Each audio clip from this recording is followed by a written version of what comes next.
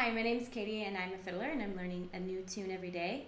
Um, today I learned a really cool Irish reel. Um, it's a really common one, good one to know, called Jenny Picking Cockles, and I hope you enjoy.